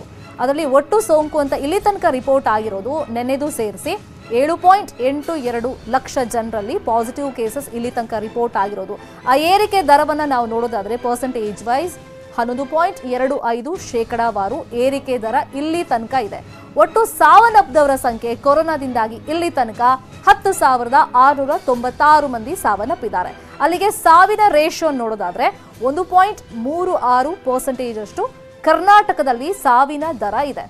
ಇನ್ನು ಕಳೆದ ಒಂದು ವಾರದಿಂದ ಕೊರೋನಾ ಲೆಕ್ಕಾಚಾರವನ್ನು ನಾವು ನೋಡೋದಾದ್ರೆ ಒಂದು ವಾರದಲ್ಲಿ ಏನೆಲ್ಲ ಆಯಿತು, ಕಡಿಮೆ ಆಗಿದೆಯಲ್ಲ ಸೋಂಕಿನ ಪ್ರಮಾಣ, ಸಾವಿನ ದರ, ಅದನ್ನ ನೋಡೋದಾದ್ರೆ ವಾರದ ಸೋಂಕಿನ ಪ್ರಮಾಣ ಆರು ಪಾಯಿಂಟ್ ಐದು ಒಂದು ಪರ್ಸೆಂಟೇಜ್ ಅಷ್ಟು ಇದೆ ಒಂದು ವಾರದಲ್ಲಿ. ಸೊ ಇನ್ನು ವಾರದಲ್ಲಿ ಸಾವಿನ ಪ್ರಮಾಣ ಒಂದು ವಾರದಲ್ಲಿ ನಾವು ನೋಡೋದಾದ್ರೆ ಒಂದು ಪಾಯಿಂಟ್ ಸೊನ್ನೆ ಆರು ಪರ್ಸೆಂಟೇಜ್ ಇದೆ. ಸೊ ಇದು ಜಾಸ್ತಿ ಇತ್ತು ಮುಂಚೆ ಬಟ್ ಕಳೆದ ಒಂದು ವಾರದಿಂದ ಗಣನೀಯವಾಗಿ ಅದು ಇಳಿಮುಖವಾಗ್ತಾ ಇದೆ. ಇನ್ನು ಬುಧವಾರದ ಪರೀಕ್ಷೆಯಲ್ಲಿ ನಾವು ನೋಡೋದಾದ್ರೆ ಮಾಡಿದ್ದು ಸ್ಯಾಂಪಲ್ಗಳ ಪರೀಕ್ಷೆ ಟೋಟಲ್ ಆಗಿ ಒಂದು ಪಾಯಿಂಟ್ ಸೊನ್ನೆ ಎಂಟು ಲಕ್ಷ ಸ್ಯಾಂಪಲ್ಗಳನ್ನು ಪರೀಕ್ಷೆಗೆ ಒಳಪಡಿಸಲಾಗಿತ್ತು. Sample collect ಮಾಡಿಕೊಂಡಿದ್ರು. ಅಲ್ಲಿಗೆ ಪಾಸಿಟಿವ್ ಕೇಸಸ್ ಅಷ್ಟರಲ್ಲಿ ರಿಪೋರ್ಟ್ ಆಗಿರೋದು ಐದು ಸಾವಿರದ ಎಂಟುನೂರ ಎಪ್ಪತ್ತ ಏಳು ಪಾಸಿಟಿವ್ ಕೇಸಸ್ ರಿಪೋರ್ಟ್ ಆಗಿದೆ. ಅಂದ್ರೆ ಲಕ್ಷ ಲಕ್ಷ ಸ್ಯಾಂಪಲ್ಗಳನ್ನು ಟೆಸ್ಟ್ ಮಾಡ್ತಾ ಇದ್ರು ಕೂಡ ಪಾಸಿಟಿವ್ ಕೇಸಸ್ ರಿಪೋರ್ಟ್ ಆಗಿರೋದು ಐದರಿಂದ ಆರು ಸಾವಿರ ಆ ಒಂದು ರೇಂಜ್ ಅಲ್ಲಿ ಇನ್ನು ಬುಧವಾರದಲ್ಲಿ ಸೋಂಕಿನ ಸರಾಸರಿಯನ್ನ ನಾವು ನೋಡೋದಾದ್ರೆ ಅಷ್ಟು ಸ್ಯಾಂಪಲ್ ತೆಗೆದು ಪಾಸಿಟಿವ್ ಕೇಸಸ್ ಅಷ್ಟು ರಿಪೋರ್ಟ್ ಆಗಿರೋದ್ರಿಂದ ಐದು ಪಾಯಿಂಟ್ ನಾಲ್ಕು ಎರಡು ಪರ್ಸೆಂಟೇಜ್ ಅಷ್ಟು ಬುಧವಾರ ಸೋಂಕಿನ ಸರಾಸರಿ ರಿಪೋರ್ಟ್ ಆಗಿದೆ. ಅಲ್ಲಿಗೆ ಇಳಿಕೆ ಪ್ರಮಾಣವನ್ನ ನೋಡೋದಾದ್ರೆ ಕರ್ನಾಟಕ ಸೇಫ್ ಆಗಿದೆಯಾ? ಅದ್ರ ಬಗ್ಗೆ ಕೂಡ ಇನ್ಫಾರ್ಮೇಶನ್ ಕೊಡ್ತಾ ಇದ್ದೀವಿ. ಅಂದ್ರೆ ದೇಶದಲ್ಲೇ ಅತಿ ಹೆಚ್ಚು ಪರೀಕ್ಷೆನ ನಡೆಸಿರೋದು ನಮ್ಮ ರಾಜ್ಯದಲ್ಲಿ. ಹಾಗಾದ್ರೆ ಕರ್ನಾಟಕ ಸೇಫಾ ಈ ಒಂದು ಅಂಕಿ ಅಂಶಗಳನ್ನ ನಾವು ನೋಡೋದಾದ್ರೆ, ಕರ್ನಾಟಕದಲ್ಲಿ ಅತಿ ಹೆಚ್ಚು ಪರೀಕ್ಷೆಯನ್ನ ದಿನ ಕಳೆದಂತೆ ಮಾಡ್ತಾ ಇದ್ದಾರೆ. ಹೆಚ್ಚೆಚ್ಚು ಪರೀಕ್ಷೆನ ಮಾಡಿದ್ರು ಸ್ಯಾಂಪಲ್ಗಳನ್ನು ತೆಗೆದ್ರೂ ಕೂಡ ಸೋಂಕಿನ ಪ್ರಮಾಣ ಏನಿದೆ ಅದು ಇಳಿಕೆ ಆಗ್ತಾ ಇದೆ. ಈಗ ಅದು ಕುಸಿತ ಆಗ್ತಾ ಇದೆ. ಮುಂಚೆ ಏನಿತ್ತು? ನಾವು ನೋಡ್ತಾ ಇದ್ವಿ, ಎಂಟರಿಂದ ಹತ್ತು ಎಂಟರಿಂದ ಹತ್ತು ಸಾವಿರ ಮಿನಿಮಮ್ ದಿನಂಪ್ರತಿ ಅಂದ್ರೆ ಇಪ್ಪತ್ನಾಲ್ಕು ಗಂಟೆಗಳಲ್ಲಿ ಪಾಸಿಟಿವ್ ಕೇಸಸ್ ರಿಪೋರ್ಟ್ ಆಗ್ತಲೇ ಇತ್ತು ಮತ್ತು ಅದು ಕಂಟಿನ್ಯೂಸ್ ಆಗಿ ಬರ್ತಾನೆ ಇತ್ತು. ಬಟ್ ಇತ್ತೀಚೆಗೆ ಕಳೆದ ಒಂದು ವಾರದಲ್ಲಿ ನಾವು ನೋಡೋದಾದ್ರೆ ಸಾವಿನ ದರದಲ್ಲೂ ಕೂಡ ಇಳಿಕೆ ಆಗ್ತಿದೆ. ಆ ಒಂದು ರೇಷಿಯೋನು ಇಳಿಕೆ ಆಗ್ತಾ ಇದೆ ಮತ್ತೆ ಪಾಸಿಟಿವ್ ಕೇಸಸ್ ಕೂಡ ಕಡಿಮೆ ಕಡಿಮೆ ಆಗ್ತಾ ಹೋಗ್ತಾ ಇದೆ. ಇವಾಗ ನಾವು ನೋಡೋದಾದ್ರೆ ಕಳೆದ ಒಂದು ವಾರದಿಂದ ಐದರಿಂದ ಆರು ಸಾವಿರ ಆ ರೇಂಜ್ ಅಲ್ಲೇ ಸೋಂಕಿನ ಪ್ರಮಾಣ ಅಂದ್ರೆ ಹೊಸದಾಗಿ ಪಾಸಿಟಿವ್ ಕೇಸಸ್ ಪತ್ತೆ ಆಗ್ತಿರೋದು. ಕೊರೋನಾ ಹೋದ್ರೂ ಕೂಡ ಕರುಣೆನೇ ಇರಲ್ವಾ ಹಾಗಾದ್ರೆ? ಕೊರೋನಾ ಹೋಯ್ತು ಅಂತ ಮೈ ಮರಿಬೇಡಿ. ನೆಗೆಟಿವ್ ಬಂದ ಮೇಲೂ ಕೂಡ ಕೊರೋನಾ ಕಾಡುತ್ತಾ ಹಾಗಾದ್ರೆ. ಇಂಥದ್ದೊಂದು ಚರ್ಚೆ ಮೊದಲಿಂದಲೂ ಇತ್ತು. ಯಾಕಂದ್ರೆ ಕೊರೋನಾ ಒಂದ್ಸತಿ ಬರುತ್ತೆ ಹೋದ್ಮೇಲೆ ಏನ್ ತಲೆ ಕೆಡಿಸ್ಕೊಳಂಗಿಲ್ಲ, ಆ ಥರ ಇಲ್ಲ. ಕೊರೋನಾ ಹೋಯ್ತು, ಬಂತು, ಹೋಯ್ತು ಅಂತ ಮೈ ಮರೆತ್ರೆ ಹುಷಾರ್. ಯಾಕಂದ್ರೆ ಒಂದು ಸತಿ ಅದು ಅಟ್ಯಾಕ್ ಆದ್ರೆ ನೆಗೆಟಿವ್ ಬಂತು ಅಂತ ನೀವು ರಿಲ್ಯಾಕ್ಸ್ ಆಗಿದ್ರು ಕೂಡ ಮತ್ತೆ ನಿಮ್ಮನ್ನ ಅದು ಕಾಡುತ್ತೆ. ಈ ಬಗ್ಗೆ ತಜ್ಞರು ಪದೇ ಪದೇ ಹೇಳ್ತಾನೆ ಇದ್ದಾರೆ, ಎಚ್ಚರಿಕೆಯನ್ನ ಕೊಡ್ತಾ ಇದ್ದಾರೆ. ಏನೇನು ಸಮಸ್ಯೆ ಆಗುತ್ತೆ? ಕೊರೋನಾ ಹೋದ ಮೇಲೆ ಕಣ್ಣಿನ ಸಮಸ್ಯೆಗಳು ಕಾಡುತ್ತವಾ ಕಣ್ಣುಗಳ ಮೇಲೆ ಕೊರೋನಾ ಸೈಡ್ ಎಫೆಕ್ಟ್ ಆಗುತ್ತಾ? ಹಾಗಾದ್ರೆ ಕಣ್ಣಿನ ರಕ್ತನಾಳಗಳಲ್ಲಿ ರಕ್ತ ಹೆಪ್ಪುಗಟ್ಟುವಂತ ಸಾಧ್ಯತೆಗಳು ಇವೆಯಂತೆ. ಕೊರೋನಾ ಸೈಡ್ ಎಫೆಕ್ಟ್ ಇಂದ ಜನ ಕಂಗೆಟ್ಟಿದ್ದಾರೆ ಬೆಂಗಳೂರಿನ ಮಿಂಟು ಆಸ್ಪತ್ರೆಗೆ ರೋಗಿಗಳು ಬರ್ತಾ ಇದ್ದಾರೆ. ಅಂದ್ರೆ ಕೊರೋನಾ ಈಗ ಬಂದು ಹೋಗಿರುತ್ತಲ್ಲ ನೆಗೆಟಿವ್ ಬಂದಿರುತ್ತೆ. ಅವ್ರಿಗೆ ಏನೆಲ್ಲ ಸಮಸ್ಯೆಗಳಾಗ್ತಿದೆ ಅಂದ್ರೆ ಕಣ್ಣು ಉರಿತಾ ಇದೆಯಂತೆ, ಕಣ್ಣು ನೋವು ಬರ್ತಾ ಇದೆಯಂತೆ. ಬೇರೆ ಬೇರೆಯವರಿಗೆ ಬೇರೆ ಬೇರೆ ಸಮಸ್ಯೆಗಳಾಗ್ತಿದೆ. ಮೊದಲೇ ಆರೋಗ್ಯದಲ್ಲಿ ಏನಾದರೂ ಏರುಪೇರು ಆಗಿದ್ರೆ, ಬೇರೆ ಬೇರೆ ಕಾಂಪ್ಲಿಕೇಶನ್ಸ್ ಇದ್ರೆ ಕ್ರೋನಿಕ್ ಡಿಸಾರ್ಡರ್ಸ್ ಆ ಥರ ಏನಾದ್ರು ಇದ್ರೆ ಅವ್ರಿಗೆ ಸಾವನ್ನಪ್ತಾರೆ ಅಂತಾನೆ ಮುಂಚೆ ತಜ್ಞರು ಹೇಳ್ತಾ ಇದ್ರು ವೈದ್ಯರು ಹೇಳ್ತಾ ಇದ್ರು. ಬಟ್ ಇವಾಗ ಪ್ರಾಬ್ಲಮ್ ಏನಿದೆ? ಕೊರೋನಾ ಬಂತು, ಹೋಯ್ತು ಅಂತಂದ್ರೆ ನೀವು ಸೇಫ್ ಅಲ್ಲ. ಬೇರೆ ಬೇರೆ ಪ್ರಾಬ್ಲಮ್ಸ್ ನಿಮ್ಮಲ್ಲಿ ಕಂಡು ಬರುತ್ತೆ ಅದರಲ್ಲೂ ಇವಾಗ ಹೆಚ್ಚೆಚ್ಚು ರಿಪೋರ್ಟ್ ಆಗ್ತಿರೋದು ಕಣ್ಣಿನ ತೊಂದರೆಗಳು. ಈಗ ಕೋವಿಡ್ ಶುರು ಆದಾಗಿಂದ ಪ್ಯಾಂಡಮಿಕ್ ಮಾರ್ಚ್ ಅಲ್ಲಿ ಶುರು ಆದಾಗಿಂದ ನಾವು ಬರೀ ಎಮರ್ಜೆನ್ಸಿ ಸೇರ್ ನೋಡ್ತಿದ್ವಿ. ಮತ್ತೆ ನಮ್ದು ಡೆಸಿಗ್ನೇಟೆಡ್ ಕೋವಿಡ್ ಹಾಸ್ಪಿಟಲ್ ಆದ ಅಂದ್ರೆ ವಿಕ್ಟೋರಿಯಾ ಕಾಂಪ್ಲೆಕ್ಸ್ ಆಗಿರೋದಕ್ಕೆ ನಾವು ಒಂದು ಮೂರ್ ಸಾವಿರ ಪೇಷಂಟ್ ತನಕ ನೋಡಿದೀವಿ. ಇದರಲ್ಲಿ ಒಂದ್ ಎರಡ್ ಮೂರ್ ತರ ಅಧ್ಯಯನ ಮಾಡಿದೀವಿ. ಇದ್ರಲ್ಲಿ ನಮ್ ಕಂಡು ಬಂದಿದ್ದು ಸುಮಾರು ಜನ ಆ ಟೈಮಲ್ಲಿ ಕಣ್ಣು ಕೆಂಪಾಗಿ ಬಂದಿದ್ರು ಕಂಜೆಕ್ಟಿವೈಟಿಸ್ ಆಗಿದ್ರು, ಅಂದ್ರೆ ವೈರಲ್ ಕಂಜೆಕ್ಟಿವೈಟಿಸ್ ಇದ್ದಿರಬಹುದು ಕಂಜೆಕ್ಟಿವೈಟಿಸ್ ಅಂತ ಆಗಿ ಬಂದಿದ್ರು. ಮತ್ತೆ ಸ್ವಲ್ಪ ಜನ ರಕ್ತನಾಳ ಬ್ಲಾಕ್ ಆಗಿನೂ ಒಂದೇ ಒಂದ್ ಪೇಷಂಟ್ ಬಂದಿದ್ದು ಮತ್ತೆ ನಾವು ಅಧ್ಯಯನ ಮಾಡಿದ್ರಲ್ಲಿ, ಒಂದ್ ಎರಡ್ ಸಾವಿರದ ಮೇಲೆ ಪೇಷಂಟ್ ಮಾಡಿರೋದ್ರಲ್ಲಿ ತುಂಬಾ ಜಾಸ್ತಿಯಾಗಿ ಬಂದಿದ್ದು ಕಣ್ ಕೆಂಪಾಗಿ ಬಂದಿರೋದು ಕಂಜೆಕ್ಟಿವೈಟಿಸ್ ಹಿಂದ್ಗಡೆ ನರ ನೋಡಿದಾಗ ಒಂದೇ ಒಬ್ರು ಒಂದು ಸ್ಟ್ರೀಕ್ ಹೆಮರೇಜ್ ತರ ಇತ್ತು. ಬಟ್ ಅದು ಇದೇ ಕಾರಣದಿಂದ ಆಗಿದೆ ಅಂತ ಹೇಳಕ್ ಬರಲ್ಲ. ತಮ್ಗೆ ಗೊತ್ತಿರಂಗೆ ಈಗ ಕೊರೋನಾ ಆದ್ಮೇಲೆ ಮೈಯಲ್ಲಿ ಏನೇನಾಗುತ್ತೆ ಅಂದ್ರೆ ಇಮ್ಯುನಿಟಿ ರಿಲೇಟೆಡ್ ಇದು ಆಗುತ್ತೆ. ಟ್ರೀಟ್ಮೆಂಟ್ ರಿಲೇಟೆಡ್ ಕಾಂಪ್ಲಿಕೇಶನ್ಸ್ ಆಗುತ್ತೆ. ಕಣ್ಣಲ್ಲಿ ಟ್ರೀಟ್ಮೆಂಟ್ ರಿಲೇಟೆಡ್ ಕಾಂಪ್ಲಿಕೇಶನ್ಸ್ ಮ್ಯಾಕ್ಯುಲಲ್ ಆಗ್ಬೋದು. ಅಂದ್ರೆ ಈ ಹೈಡ್ರೋಕ್ವಿನ್ ತಗೋತಿದ್ರಲ್ಲ ಅದನ್ನ ಬುಲ್ಸಾಯಿ ಮ್ಯಾಕ್ಲೋಪತಿ ಅಂತೀವಿ. ಆ ರೀತಿ ಆಗಿರ್ಬೋ ಆಗ್ಬಹುದು ಅಂತದ್ ಯಾವ್ದು ಅತಿ ಕಂಡಿಲ್ಲ. ಅದನ್ನ ನಾವು ಡಾಕ್ಟರ್ಸ್ಗೂ ಮಾಡ್ಬೋದು. ಯಾಕಂದ್ರೆ ತುಂಬಾ ಜನ ಪ್ರೊಫೈಲಾಕ್ಟಿಕ್ ಓದ್ತಿದ್ರಲ್ಲ ಅದನ್ನ ಮಾಡಿದ್ರೆ ತಿಳಿಬಹುದು ಬಟ್ ಓವರ್ ಆಲ್ ಅಧ್ಯಯನ ಮಾಡಿದ್ರಲ್ಲಿ ಅದು ಆಗ್ಬಹುದು ಬ್ಯಾಕ್ ನಮ್ಮ ರಾಜ್ಯದಲ್ಲಿ ಕೊರೋನಾ ಒಂದು ವಾರದಿಂದ ಸೋಂಕಿನ ಪ್ರಮಾಣದಲ್ಲಿ ಇಳಿಕೆ ಆಗ್ತಿರೋದು ಸಾವಿನ ದರದಲ್ಲೂ ಇಳಿಕೆ ಇಳಿಕೆ ಆಗ್ತಾ ಇರೋದು. ಮತ್ತೆ ಅದ್ರ ಜೊತೆಯಲ್ಲಿ ಕೊರೋನಾ ಆಫ್ಟರ್ ಎಫೆಕ್ಟ್ ಬಗ್ಗೆ ವೈದ್ಯರು ಏನ್ ಹೇಳ್ತಾರೆ ಅಂತ ಬ್ರೇಕ್ ಮುಂಚೆ ಸಾಕಷ್ಟು ಮಾಹಿತಿಯನ್ನು ಕೊಡ್ತಾ ಇದ್ವಿ. ಇದೇ ವಿಚಾರವಾಗಿ ಮಾತನಾಡೋದಕ್ಕೆ ಎಕ್ಸ್ಪ್ಲೈನ್ ಮಾಡೋದಕ್ಕೆ ನಮ್ಮ ಜೊತೆ ಡಾಕ್ಟರ್ ಗೋವಿಂದಯ್ಯ ಯತೀಶ್ ನೇರ ಸಂಪರ್ಕದಲ್ಲಿ ಜಾಯಿನ್ ಆಗಿದ್ದಾರೆ. ಡಾಕ್ಟರ್ ಆಫ್ಟರ್ ಎಫೆಕ್ಟ್ ಏನಿದೆ, ಏನೇನು ಪ್ರಾಬ್ಲಮ್ಸ್ ಆಗ್ಬೋದು ಎಸ್ಪೆಷಲಿ ಕಣ್ಣಿನ ಪ್ರಾಬ್ಲಮ್ಸ್ ಅದ್ರ ಬಗ್ಗೆ ನಾನು ಆಮೇಲೆ ನಿಮ್ಮ ಹತ್ರ ಡಿಸ್ಕಸ್ ಮಾಡ್ತೀನಿ. ಬಟ್ ಕಳೆದ ಒಂದು ವಾರದಿಂದ ರಾಜ್ಯದಲ್ಲಿ ಆ ಸೋಂಕಿನ ಪ್ರಮಾಣ ನೋಡಿದ್ರೆ ಕಡಿಮೆ ಆಗ್ತಿದೆ. ಮುಂಚೆ ಎಲ್ಲ ಹೇಳ್ತಾ ಇದ್ರು ಒಂದು ಪೀಕ್ ಲೆವೆಲ್ಗೆ ಹೋಗುತ್ತೆ ಮ್ಯಾಕ್ಸಿಮಮ್ ಲೆವೆಲ್ಗೆ ಹೋಗುತ್ತೆ. ಆಮೇಲೆ ಅದು ತನ್ನಿಂದ ತಾನೇ ಇಳಿಕೆ ಆಗುತ್ತೆ ಅಂತ. ಸೊ ಆ ಥರ ಅನ್ನಿಸ್ತಾ ಇದೆಯಾ ನಿಮಗೆ?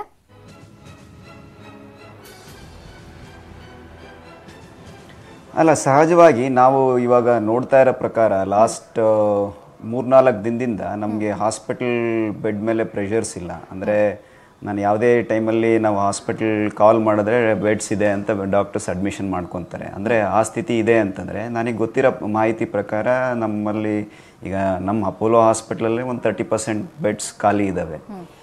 ಸೊ ಇದು ಖುಷಿ ಸುದ್ದಿ ನಮ್ಮೆಲ್ಲರಿಗೂ ಹಂಗಾಗಿ ನಾನು ಅದನ್ನು ಶೇರ್ ಶೇರ್ ಮಾಡೋದಕ್ಕೆ ಇಷ್ಟಪಡ್ತೀನಿ. But at the same time ಏನು ಕನ್ಸರ್ನ್ ಅಂತಂದರೆ, ಹಬ್ಬ ಬರೋದ್ರಿಂದ ನೆಕ್ಸ್ಟ್ ಐದಾರು ದಿನ ಅಥವಾ ಹತ್ತು ದಿನ ಹೆಂಗೆ ಇರುತ್ತೆ, ಅದು ಭಾಳ ಮುಂದಿನ ದಿಕ್ಸ್ ಡೈರೆಕ್ಷನ್ಗೆ ಹೆಲ್ಪ್ ಆಗುತ್ತೆ ಅಂತ ಹೇಳ್ತೀನಿ. ಅಂದ್ರೆ ಮುಂಚೆ ಹೇಳ್ತಾ ಇದ್ರು ಡಾಕ್ಟರ್ ಈಗ ಕಮ್ಯುನಿಟಿ ಸ್ಪ್ರೆಡ್ ಆಗುತ್ತೆ, ಆಮೇಲೆ ಹರ್ಡ್ ಇಮ್ಯುನಿಟಿ ಅನ್ನೋದು ಡೆವಲಪ್ ಆಗುತ್ತೆ. ಸೊ ಹಾಗಾಗಿ ತನ್ನಿಂದ ತಾನೇ ಕೊರೋನಾ ಕಂಟ್ರೋಲಿಗೆ ಬರುತ್ತೆ, ಮತ್ತೆ ಪ್ಲಾಸ್ಮಾ ಡೊನೇಟ್ ಮಾಡೋದು, ಇದರಿಂದೆಲ್ಲ ಹೆಲ್ಪ್ ಆಗುತ್ತೆ ಅಂತ. ಸೊ ಆ ಸ್ಟೇಜಲ್ಲಿ ನಾವು ಇದೀವಿ ಅನ್ಸುತ್ತಾ ಡಾಕ್ಟರ್ ಇವಾಗ?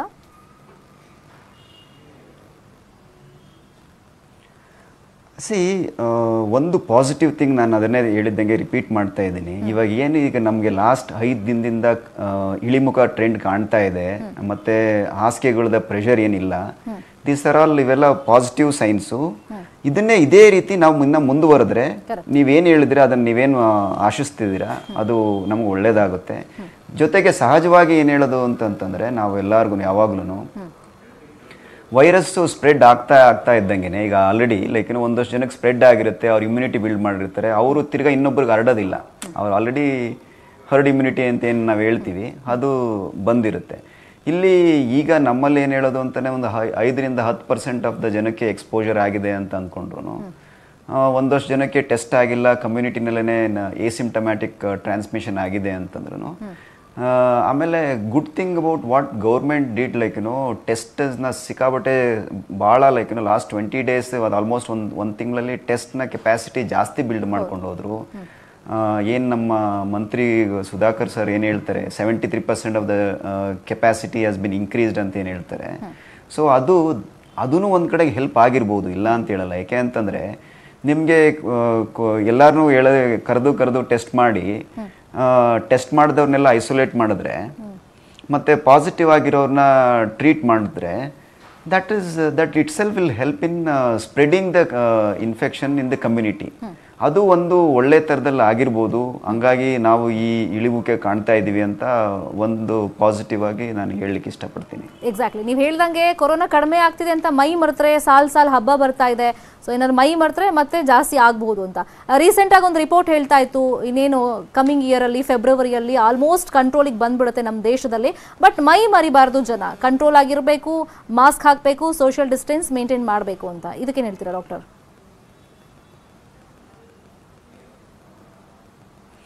ಸಿ ಅದು ಅದು ಇವಾಗ ಇರೋದ್ರಲ್ಲಿ ನಮ್ಮ ಹತ್ರ ಯಾವುದಪ್ಪ ಅಸ್ತ್ರ ಅಂದರೆ ದಟ್ ಈಸ್ ದಿ ಓನ್ಲಿ ಅಸ್ತ್ರ. ಈ ಮೂರೇ ಅಸ್ತ್ರ ಇರೋದು ನಮ್ಗಳ ಹತ್ರ ಯಾಕೆ ಅಂತಂದರೆ ಇನ್ನು ಡೆಫಿನೇಟಿವ್ ಟ್ರೀಟ್ಮೆಂಟ್ಸ್ ಏನೂ ಗ್ಯಾರಂಟಿ ಕನ್ಫರ್ಮೇಷನ್ ಯಾವುದೂ ಇಲ್ಲ. ಆ ಸ್ಥಿತಿಲಿ ನಾವು ಇರುವಾಗ ನಮಗೆ ಏನು ದಾರಿ ಒಂದೇ ಒಂದು ಅಂತಂದರೆ ನಾವು ಯಾವಾಗಲೂ ಜಾಗರೂಕತರಾಗಿರಬೇಕು. At any point of time ನಾವು ಇಂಗ್ಲೀಷಲ್ಲಿ ಹೇಳೋದಂದ್ರೆ we should never let down our guard down ಅಂತ ಹೇಳ್ತೀವಿ. ಯಾವಾಗಲೂ ಜಾಗರೂಕತರಾಗಿದ್ದು ನಿಮ್ಮ ಜವಾಬ್ದಾರಿನ ನೀವು ನಿಭಾಯಿಸಬೇಕು. ಏನು ನಮ್ಮ ಪ್ರಧಾನಮಂತ್ರಿಯವ್ರು ಬಂದು ಏನು ಎಲ್ಲರೂ ದೇಶದ ಜನತೆ ಮುಂದೆ ಏನು ಬೇಳ್ಕೊಂಡ್ರು ಸೊ ಅದೇ ಇದು ಹಬ್ಬ ಹರಿದಿನ ಅಂತ ಅಂದ್ಬಿಟ್ಟು ನಾವು ಈ ಟೈಮಲ್ಲಿ ನಾವು ಸ್ವಲ್ಪ ಸ್ವಲ್ಪ ಇರೆಸ್ಪಾನ್ಸಿಬಲ್ ಆಗಿ ವರ್ತಿಸ್ಬಿಟ್ರೆ ಅದು it may causes lot of ತೊಂದರೆ ಸಮಾಜಕ್ಕೂ ತೊಂದರೆ ಜೊತೆಗೆ ಮನೆ ಮಕ್ಕಳಿಗೆ ತೊಂದರೆ ಆಗುತ್ತೆ ನಮ್ಮ ಪರಿವಾರಕ್ಕೆ ತೊಂದರೆ ಆಗುತ್ತೆ. ಆ ನಿಟ್ಟಿನಲ್ಲಿ ನಾನೇನು ಹೇಳಕ್ಕೆ ಹೇಳಿ ಇಷ್ಟಪಡ್ತೀನಿ ಅಂದರೆ ಯಾವಾಗಲೂ ನೀವು ಹೊರಗಡೆ ಹೋಗುವಾಗ ಮಾಸ್ಕ್ ಹಾಕೊಂಡೇ ಇರಿ. ಏನು ಟಚ್ ಮಾಡಕ್ಕೆ ಹೋಗ್ಬೇಡಿ. ಟಚ್ ಮಾಡಿದ್ರೆ ಕೈ ತೊಳ್ಕೊಳ್ಳಿ. ಫೈನ್ ಫೈನ್ ಡಾಕ್ಟರ್ ಹಾಗೆ ಸಂಪರ್ಕದಲ್ಲಿ ಪ್ಲೀಸ್ ಬಿ ಆನ್ಲೈನ್ ನಿಮ್ಮ ಹತ್ರ ಮಾತಾಡ್ತೀನಿ. ಇದೀಗ ನಮ್ಮ ಜೊತೆ ಮಾತಾಡೋದಕ್ಕೆ ಡಾಕ್ಟರ್ ಮಂಜುನಾಥ್ ಅವರು ಫೋನ್ ಲೈನಲ್ಲಿ ಜಾಯ್ನ್ ಆಗಿದ್ದಾರೆ. ಟಾಸ್ಕ್ ಫೋರ್ಸ್ನ ಸದಸ್ಯರು ಜಯದೇವ ಹೃದ್ರಗ ಆಸ್ಪತ್ರೆಯವರು.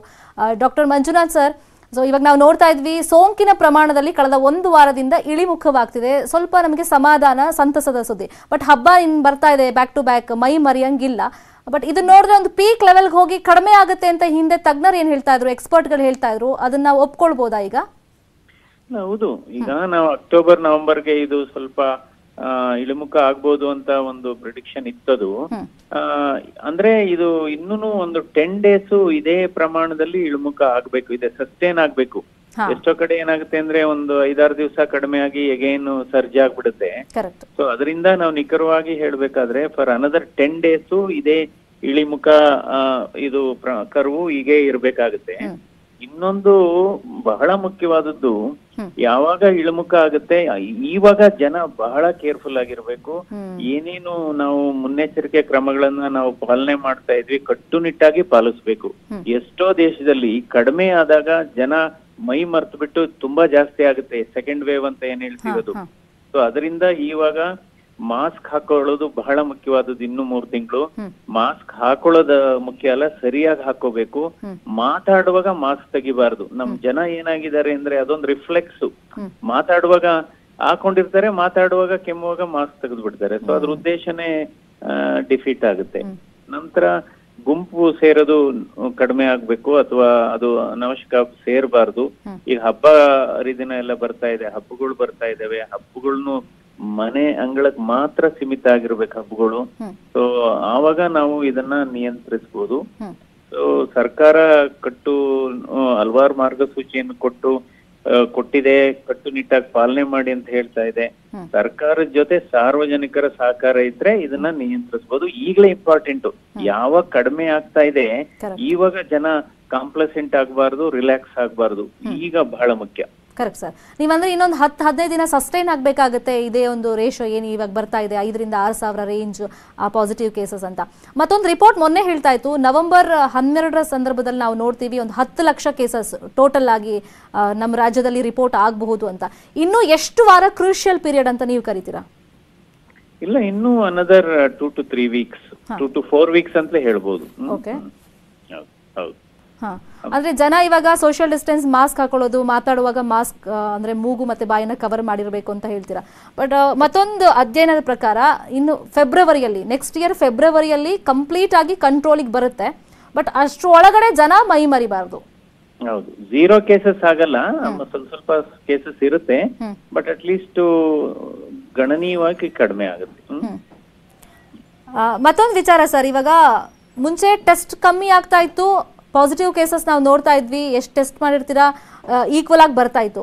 ಬಟ್ ಕಾಲಕ್ರಮೇಣ ಏನಾಯ್ತು ನಮ್ಮ ದೇಶದಲ್ಲೇ ಕರ್ನಾಟಕ ರಾಜ್ಯದಲ್ಲಿ ಟೆಸ್ಟ್ ಪ್ರಮಾಣ ಜಾಸ್ತಿ ಆಗ್ತಾ ಹೋಯಿತು. ಬಟ್ ಇತ್ತೀಚೆಗೆ ನಾವು ನೋಡಿದಾಗೆ ಫಾರ್ ಎಕ್ಸಾಂಪಲ್ ನಿನ್ನೆ ಕೇಸಸ್ ಅನ್ನೇ ನಾವು ನೋಡಿದ್ರೆ ಲಕ್ಷ ಲಕ್ಷ ಸ್ಯಾಂಪಲ್ ಅನ್ನ ಮಾಡಿದ್ರು ಕೂಡ ಟೆಸ್ಟ್ ಮಾಡಿದ್ರೆ ಐದು ಸಾವಿರ ಆರು ಸಾವಿರ ಆ ರೇಂಜಲ್ಲಿ ಬರ್ತಾ ಇದೆ. ಅಂದ್ರೆ ನಿಜಕ್ಕೆ ಇದು ಏನು ಹರ್ಡ್ ಇಮ್ಯುನಿಟಿ ಅಂತ ಏನಿದೆ ಅದು ಡೆವಲಪ್ ಆಗಿದೆಯಾ?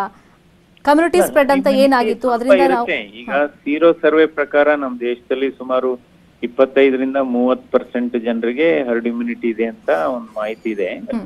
ಆಮೇಲೆ ಆಲ್ ಇಂಡಿಯಾ ಈ ದೇಶಾದ್ಯಂತ ಇದೇ ಟ್ರೆಂಡ್ ಇದೆ. ನಮ್ಮ ರಾಜ್ಯದಲ್ಲಿ ಯಾವ ರೀತಿ ಕಡಿಮೆ ಆಗ್ತಾ ಇದೆ ಅದೇ ರೀತಿ ಮಹಾರಾಷ್ಟ್ರ ಆಗ್ಬೋದು ಅಥವಾ ಬೇರೆ ಬೇರೆ ರಾಜ್ಯಗಳಾಗ್ಬೋದು. So it's an all India scenario okay so most important ಇವಾಗ ನಾವು ಚಿಕಿತ್ಸೆ ಕೂಡ ಇದು ಡೆತ್ ರೇಟುನು ಕಡಿಮೆ ಆಗ್ಬೇಕು. ಅದು ಇಂಪಾರ್ಟೆಂಟ್ ಹ್ಮ್. ಮತ್ತೊಂದು ಆತಂಕ ಅಂದ್ರೆ ಸರ್ ಈಗ ಮಳೆಗಾಲ ನಾವು ನೋಡ್ತಾ ಇದೀವಿ ಯಾವ ತರ ಮಳೆ ಪ್ರವಾಹ ಬರ್ತಾ ಇದೆ ಅದ್ರ ಬ್ಯಾಕ್ ಅಲ್ಲೇ ಇದೆ ಚಳಿಗಾಲ. ಸೊ ಹಾಗಾಗಿ ಚಳಿಗಾಲ ಬಂದ ತಕ್ಷಣ ಬಹುಶಃ ಒಂದು ಸೆಕೆಂಡ್ ವೇವ್ ಎರಡನೇ ಅಲೆ ಏನಿದೆ ಅಲ್ಲಿ ಇಲ್ಲೂ ಸ್ಟಾರ್ಟ್ ಆಗಬಹುದು ಅಂತ ಒಂದು ಆತಂಕ ಇದೆ. ಅದು ನೀವು ಒಪ್ಕೊಳ್ತೀರಾ ಏನಾಗ್ಬೋದು ಮುಂದೆ ಅಂತ ಒಂದು ಪ್ರಿಡಿಕ್ಷನ್ ಅಲ್ಲ ಸಾಮಾನ್ಯವಾಗಿ ವೈರಲ್ ಇನ್ಫೆಕ್ಷನ್ಸ್ ಚಳಿಗಾಲದಲ್ಲಿ ಜಾಸ್ತಿ ಆಗೋದು ಸಹಜ. ಬಟ್ ಎಗೈನ್ ಈ ಈ ಮುನ್ನೆಚ್ಚರಿಕೆ ಕ್ರಮಗಳು ಮುಂದುವರಿಬೇಕು. ನಾವು ಮಾಸ್ಕ್ ಎಷ್ಟು ಮುಖ್ಯನೋ ಅದಕ್ಕೆ ಇಂಗ್ಲಿಷ್ ಅಲ್ಲಿ ಹೇಳ್ತೀವಿ COVID and crowd go together ಅಂತ. ಎಲ್ಲಿ ಜನ ಗುಂಪು ಸೇರ್ತಾರೋ ಅಲ್ಲಿ ವೈರಸ್ ಹುಡುಕೊಂಡು ಹೋಗುತ್ತಂತೆ. ಸೊ ಅದರಿಂದ ಗುಂಪು ಸೇರಬಾರ್ದು. ಜೊತೆಲೆಲ್ಲ ಸೇರಿ ಊಟ ಮಾಡಬಾರ್ದು ಇನ್ನೊಂದ್ ಎರಡ್ ಮೂರ್ ತಿಂಗಳು ಅಟ್ಲೀಸ್ಟ್ ಒಂದ್ ಟೂ ಮಂತ್ ಅದೇ ಕ್ರೂಷಿಯಲ್ ಪೀರಿಯಡ್ ಇದೆ ಸೊ ಹಾಗಾಗಿ ಇನ್ನಷ್ಟು ಎಚ್ಚರಿಕೆ ಈ ಟೈಮ್ನಲ್ಲಿ ಅಗತ್ಯ ಇದೆ ಅಂತ. ಥ್ಯಾಂಕ್ ಯು ಸಚಿವ್ ಬಂದ ತಕ್ಷಣ ರಿಲ್ಯಾಕ್ಸ್ ಆಗುವಂತ ಸಾಧ್ಯತೆಗಳು ಕಡಿಮೆ ಇರುತ್ತೆ. ಯಾಕಂದ್ರೆ ವೈದ್ಯರು ಈ ಬಗ್ಗೆ ಎಚ್ಚರಿಕೆಯನ್ನು ಕೊಟ್ಟಿದ್ದಾರೆ. ಇದೇ ವಿಚಾರವಾಗಿ ಎಕ್ಸ್ಪ್ಲೈನ್ ಮಾಡೋದಕ್ಕೆ ಡಾಕ್ಟರ್ ಗೋವಿಂದಯ್ಯ ಯತೀಶ್ ಮತ್ತೆ ನಮ್ಮನ್ನ ಜಾಯಿನ್ ಆಗಿದ್ದಾರೆ ಲೈವ್ನಲ್ಲಿ. ಡಾಕ್ಟರ್ ಈಗ ಆಫ್ಟರ್ ಎಫೆಕ್ಟ್ ಅಂತಂದ್ರೆ ಬೇರೆ ಬೇರೆ ಸಮಸ್ಯೆಗಳು ಇನ್ ಫ್ಯೂಚರ್ ಕಾಡಬಹುದು ಅದ್ರ ಬಗ್ಗೆ ಎಕ್ಸ್ಪರ್ಟ್ಗಳು ಹೇಳ್ತಿರೋದು ನಾವು ಈಗಲೇ ಹೇಳಕ್ಕಾಗಲ್ಲ. ಇನ್ನೊಂದು ಐದು ವರ್ಷನೋ ಹತ್ತು ವರ್ಷನೋ ಬಿಟ್ಟು ಹೇಳಬೇಕಾಗತ್ತೆ. ಇದು ಹೊಸ ವೈರಸ್ ಆಗಿರೋದ್ರಿಂದ ಅಂತ. ತುಂಬಾ ಜನ ಇತ್ತೀಚೆಗೆ ಕಂಪ್ಲೇಂಟ್ ಮಾಡ್ತಿರೋದು ಕಣ್ಣಿನ ಸಮಸ್ಯೆ ಆಗ್ತಾ ಇದೆ. ಕಣ್ಣು ಉರಿ ಬರ್ತಾ ಇದೆ ನೋವು ಆಗ್ತಾ ಇದೆ ಅಂತ. ಸೊ ಏನೇನ್ ಕಾಂಪ್ಲಿಕೇಶನ್ಸ್ ಆಗಬಹುದು ಕೊರೋನಾ ಬಂದವ್ರಿಗೆ.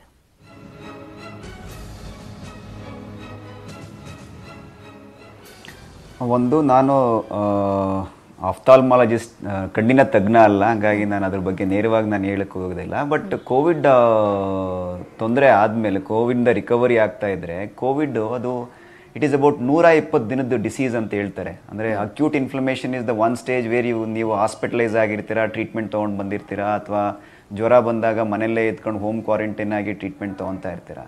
ಬಟ್ ಶರೀರದಲ್ಲಿ ಹೋಸ್ಟ್ ವರ್ಸಸ್ ಇಮ್ಯೂನ್ ರಿಯಾಕ್ಷನ್ಸ್ ಆಗ್ತಾನೆ ಇರುತ್ತೆ. ಅದಕ್ಕೆ ಇದು since it is almost like no ಮೂರು ತಿಂಗಳು ಅಥವಾ ಒಂದು ಹಂಡ್ರೆಡ್ ಆ್ಯಂಡ್ ಟ್ವೆಂಟಿ ಡೇಸ್ ಅಂತಂದರೆ ಮೂರು ತಿಂಗಳು ನಾಲ್ಕು ತಿಂಗಳು ಡಿಸೀಸ್ ಆಗಿರೋದ್ರಿಂದ ಶರೀರದಲ್ಲಿ ಸಾಕಷ್ಟು ಇನ್ನರ್ ಫೈಟ್ ಆಗ್ತಾ ಇರುತ್ತೆ. ಶರೀರನೂ ಅಡ್ಜಸ್ಟ್ ಆಗ್ತಾ ಇರುತ್ತೆ ಅದಕ್ಕೆ ಡಿಫೆನ್ಸ್ ಮಾಡ್ಕೊತಾ ಇರುತ್ತೆ ಹೊಂದ್ಕೊಂಡು ಹೋಗ್ತಾ ಇರುತ್ತೆ. ಈ ಇದರಲ್ಲಿ ಏನೇನಾಗ್ತಾ ಇದೆ ಅಂತಂದರೆ ಒಂದು ಲಂಗ್ಸ್ ರಿಲೇಟೆಡ್ ಆಗಿ ಲಂಗ್ಸ್ಗೆ ಶ್ವಾಸಕೋಶ ಉಸಿರಾಡಕ್ಕೆ ತೊಂದರೆ ಆಗುತ್ತೆ ಅಕ್ಯೂಟ್ ಪ್ರಾಬ್ಲಮ್ ನಮಗೆಲ್ಲ ಗೊತ್ತಿರೋದೆ ಸಹಜವಾಗಿ. ಈ ಪರ್ಟಿಕ್ಯುಲರ್ಲಿ ಏಳರಿಂದ ಹನ್ನೆರಡು ಅಥವಾ ಹದಿನೈದು ದಿನದಲ್ಲಿ ಪೇಷಂಟ್ಸ್ಗಳಿಗೆ ಲಂಗ್ ತಿರ್ಗಾ ಯಾರೋ ಡಿಸ್ಚಾರ್ಜ್ ಆಗಿ ಹೋಗಿದ್ರೆ ಅವರು ಡಿಸ್ಯಾಚುರೇಟ್ ಆಗಿ ಬರೋ ಚಾನ್ಸಸ್ ಇರುತ್ತೆ ಒಂದು. ಆಮೇಲೆ ಇವರಿಗೆ ರಕ್ತ ಹೆಪ್ ಕಟ್ಕೊಳೋ ಚಾನ್ಸಸ್ ಜಾಸ್ತಿ ಇರುತ್ತೆ. ರಕ್ತ ಹೆಪ್ ಕಟ್ಕೊಂಡು ಇನ್ಫ್ಲಮೇಷನ್ ಶರೀರದಲ್ಲಿ ಆಗ್ತಾ ಇರೋದ್ರಿಂದ ಇನ್ಫ್ಲಮೇಷನ್ ಆಗೋ ಚಾನ್ಸಸ್ ಜಾಸ್ತಿ ಇರುತ್ತೆ. ಇವ್ರಿಗೆ ಹಾರ್ಟ್ ಅಟ್ಯಾಕ್ ಆಗ್ಬೋದು ಅಥವಾ ಸ್ಟ್ರೋಕ್ ಆಗ್ಬೋದು ಅಥವಾ ನೀವು ಆಗಲೇ ಕೇಳ್ದಂಗೆ ಇನ್ನೊಬ್ರು ನಮ್ಮ ಮಿಂಟೋ ಡಾಕ್ಟ್ರ್ ಮಾತಾಡ್ತಾ ಇದ್ದಂಗೆ ಕಣ್ಣಿನಲ್ಲಿ ಒಳಗಡೆ ಕಣ್ಣೊಳಗಡೆ ಇನ್ನೊಂದು ಕ್ಲಾಟ್ ಹೋಗಿ ಕಣ್ಣಿಗೆ ಬ್ಲಡ್ ಸಪ್ಲೈಯು ಕಟ್ ಆಗ್ಬೋದು. ಕಾಲು ನರಗಳಿಗೆ ಬ್ಲಡ್ ಸಪ್ಲೈ ಕಮ್ಮಿ ಆಗ್ಬೋದು. ಎಲ್ಲಿ ಶರೀರದೊಳಗಡೆ ಎಲ್ಲಾದರೂ ರಕ್ತ ಹೆಪ್ಪು ಕಟ್ಕೊಳ್ಳೋ ಚಾನ್ಸಸ್ ಜಾಸ್ತಿ ಇರುತ್ತೆ. ಅದು ಒಂದು ಕಡೆಗೆ ಸಮಸ್ಯೆ ಆದರೆ. ಇನ್ನೊಂದು ಕಡೆ ನಾವು ಏನು ನೋಡ್ತಾ ಇದ್ದೀವಿ ಅಂತಂದರೆ ಒಂದಷ್ಟು ಜನ ಪೇಷಂಟು ಬ್ಲೀಡಿಂಗ್ ಆಗಿ ಬರೋದನ್ನು ನೋಡಿದ್ದೀವಿ ಸೊ ಅದು ಇನ್ನೊಂದು ಕಡೆ ಸಮಸ್ಯೆ. ಜೊತೆಗೆ ಲೈಕ್ ಏನು ಮಯೋಸೈಟಿಸ್ ಅಂತ ಹೇಳಿದ್ರೆ ಮಸಲ್ ಎಲ್ಲ ಪೇಯ್ನ್ ಇರುತ್ತೆ. ಎಲ್ಲ ಕಡೆಗೂ ಬಾಡಿ ಪೇಯ್ನ್ ಇರುತ್ತೆ ಸುಸ್ತು ಇರುತ್ತೆ ಸಿಕ್ಕಾಪಟ್ಟೆ ಲೈಕ್ ಏನೋ ಜಡತ್ವ ಇರುತ್ತೆ. ಅದು that is the what like ಎಲ್ಲರೂ ರಿಕವರಿ ಆಗಿ ಬಂದಿರೋರು ಎಲ್ಲರೂ ನಾನು ನಾವು ನೋಡ್ತಾ ಇರೋದು ಇಂಟ್ರ್ಯಾಕ್ಟ್ ಮಾಡ್ತಾ ಇರೋದು ಓದ್ತಾ ಇರೋದು ಎಲ್ಲದೂ ಇದು.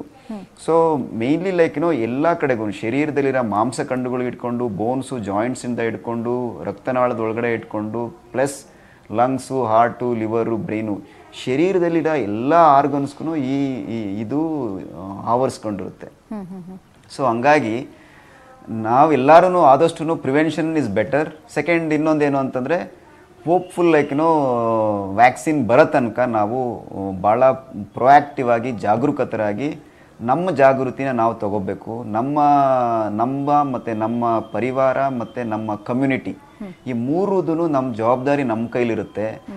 ಏಕೆ ಅಂತಂದರೆ ಅದು ಮಂಜುನಾಥ್ ಸರ್ ಆಗಲೇ ಹೇಳ್ದಂಗೆ it is not one man's responsibility it is the every one's responsibility ಒಂದು.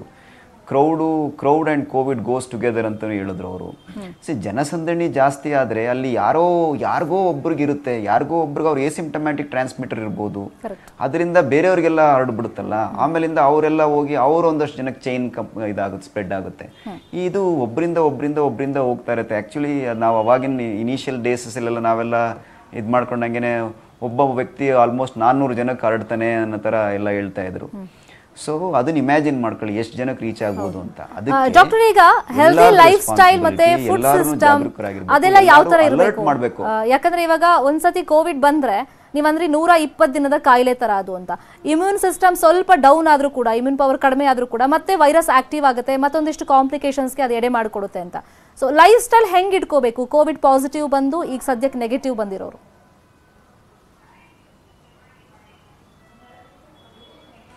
ಸೊ ಒಂದು ಯಾವಾಗ್ಲೂ ಲೈಕ್ ನಾವು ಸ್ಟ್ರೆಸ್ ಫ್ರೀ ಆಗಿರಬೇಕು. ಯಾಕೆ ಅಂತಂದರೆ ನಿಮ್ಮ ನೀವು ಮಾನಸಿಕವಾಗಿ ಸ್ಟ್ರಾಂಗ್ ಆಗಿದ್ದರೆ ನಿಮ್ಮ ಶರೀರದಲ್ಲಿರೋ ಇಮ್ಯುನಿಟಿ ಸಿಸ್ಟಮನ್ನು ಪೀಕ್ ಆಪ್ಟಿಮವಾಗಿ ಫಂಕ್ಷನ್ ಮಾಡುತ್ತೆ. ಅದಕ್ಕೆ ಏನು ಹೇಳೋದು ಅಂತಂದರೆ no physical stress no mental stress ಎರಡೂ ಕಮ್ಮಿ ಮಾಡ್ಕೊಳ್ಳಿ. ಜೊತೆಗೆ ನೀರನ್ನೆಲ್ಲ ಚೆನ್ನಾಗಿ ಕುಡಿತಾ ಇರ್ರಿ. ಹಣ್ಣು ಹಂಪಲು ಚೆನ್ನಾಗಿ ತಿನ್ನಿ. ಜೊತೆಗೆ ಸಿಟ್ರಸ್ ಹುಳಿ ಇರೋ ಅಂಥ ಪದಾರ್ಥದನ್ನ ಜಾಸ್ತಿ ತಗೊಳ್ಳಿ. ನಮ್ಮದೇನು ಮನೆ ಮದ್ದು ಅಥವಾ ಹೋಲ್ಡ್ ಓನ್ ಹೋಮ್ ಮೆಡಿಕೇಶನ್ಸ್ ಏನು ಆಯುರ್ವೇದಿಕ್ದಲ್ಲಿರೆಲ್ಲ ಇದ್ದಾವೆ ಕಷಾಯಗಳನ್ನ ಸೇವಿಸ್ತಾ ಇರ್ರಿ.